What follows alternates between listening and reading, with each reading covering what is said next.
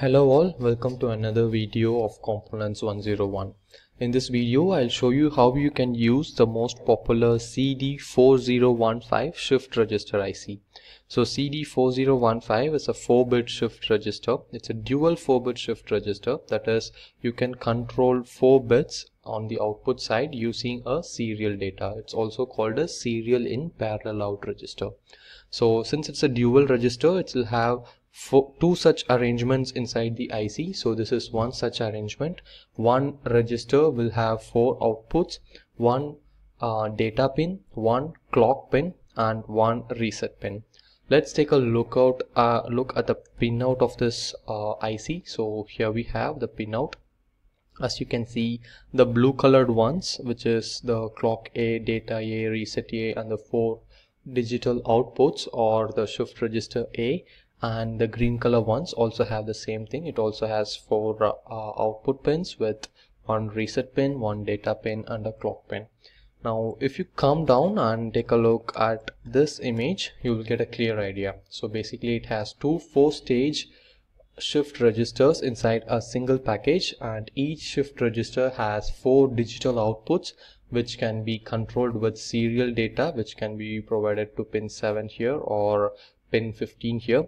And of course it will have a clock pin and a reset pin each for uh, each for both the shift register packages.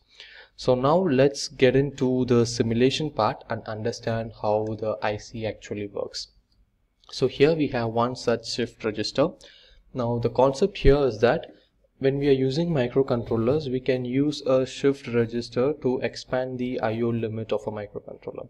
Say for example, if I connect a microcontroller to this IC, I will only utilize the data pin and the clock pin and using this I can control four outputs.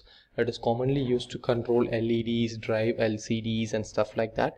Another popular IC which we have covered uh, similar to this one will be the 74HC595 which is a 8-bit shift register. So we have already covered how this IC works but just to show you the simulation as you can see this is typically how the IC will be used with a microcontroller. You can also use it with digital ICs with your own clock signal and data pin data inputs but it is commonly used with the microcontroller. So as you can see this is an 8-bit shift register meaning you will have 8 outputs which you can control on the other side based on the clock input you give here. Now let's go back to our IC the CD4015 so here the concept is that the reset pin should always be held 0 for the IC to work. If you make it high, the IC will be in reset mode and nothing will be happening on the output side. And the clock pin as the name says you will be giving a clock signal we will look at it shortly and the data input is where all the magic happens so for every clock input if you make one bit high over here we will have one such output going high. If you make two bits high you will have two such outputs going high. So for whichever clock input during the rise time if you make the data input also high then that particular output pin will also get high and it will get shifted for every corresponding clock pulse. It might sound a bit confusing but i will explain it with a simulation now. But before that i will also also show you this diagram. So as you can see this is the clock signal which has a constant uh, uptime and downtime and during every rise time it will check for the data pin. So during every rise time for the first rise time the data pin is also high. So it will consider it as 1 and the on the output side the first output will go high. And for the corresponding signals it will also consider whichever signal is high and that particular pin will go high. And after that it will get shifted to every output. So let's try to understand this with a simulation here. So here we have the clock input and the data input. To see how the pulse is actually getting into the IC we'll use an oscilloscope. Let me connect it. So one to the clock input pin and the other to the data input pin. Now let's run the simulation let me reduce the time frame. So here uh, okay. Here uh, I think I have to run it again. Let's run the simulation again. Close this thing. Stop it. Okay before that I'll show you the settings in the clock input thing.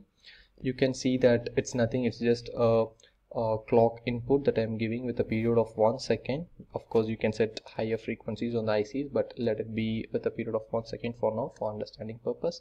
And on the data pin I'm making two pulses high. So the number of edges that I need is four which obviously means one uh, input one complete clock pulse will have two edges. So four edges will make two clock pulses. So i'm continuously incrementing two. Let us make it two so that we'll get only one clock pulse and we'll get only one output on the side. So to understand it let's run the simulation. And pause it right here. So as you can see the yellow thing is the clock pulse which is a continuous pulse.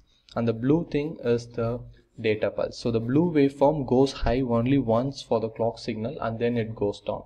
So due to that only one pin will go high and it will get shifted for every corresponding clock pulses. So right now first clock pulse is done, second clock pulse is done and it's on the third clock pulse and hence the third output is high.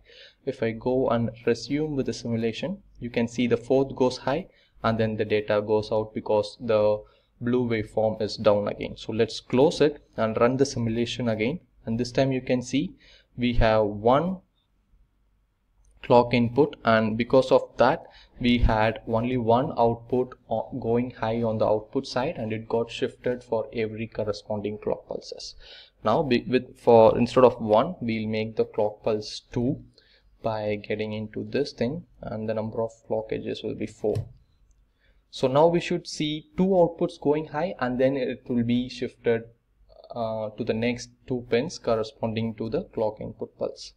So let's run the simulation. And as you can see in the waveform we have on the blue waveform you have two pins going high for the corresponding clock inputs.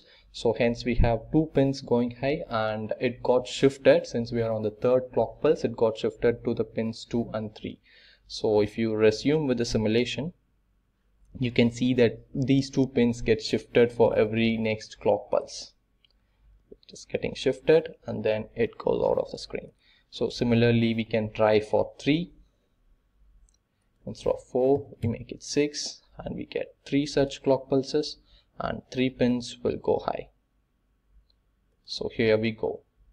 So you can see 3 pulses on the blue waveform corresponding to the clock pulse and hence we have 3 outputs. And resume with the simulation and it gets shifted to the next pin for every corresponding clock pulse same way we can also do it for all the four by making it 8 and boom.